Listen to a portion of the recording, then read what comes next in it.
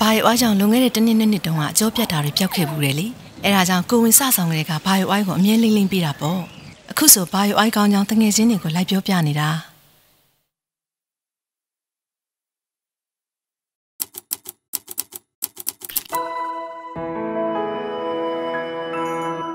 ဝမ်းသာပါတယ်ဒါအကုန်လုံးပေါ့နော်အမညာနဲ့တယောက်တည်းကြောင့်မဟုတ်ဘူးပေါ့နော်အကုန်လုံးအဖက်ဖက်ကအကုန်လုံး director တွေရော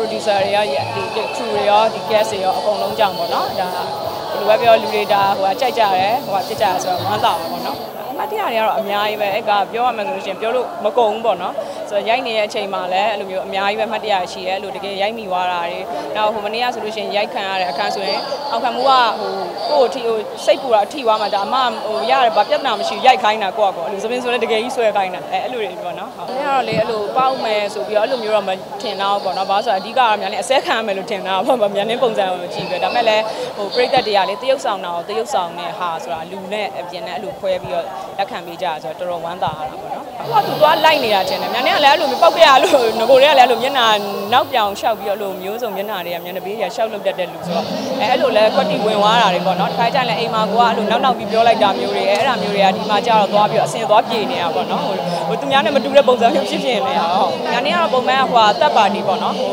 MRD4 ရဲ့ဟိုမင်းသားမင်း talent တော့မဟုတ်ဘူးပေါ့ သက်ပါတီအနေနဲ့ကတော့ညာနေအခုလက်ရှိရိုက်နေတာဟိုပေါ့နော်မာယာလှည့်ကွက်ဆိုတာဇလန်တွဲရယ်နောက်အခန်းနံပါတ်ပေါ့နော်အဲအဲ့ကားနှစ်ခုရိုက်နေတယ်အရန်ကျေးဇူးတင်ပါတယ်ညာနေရှေ့ရှောက်လည်းအများကြီးကြိုးစားသွားပါအခုလိုအားပေးကြတဲ့အတွက်လည်းကျေးဇူးတင်ပါတယ်ဟုတ်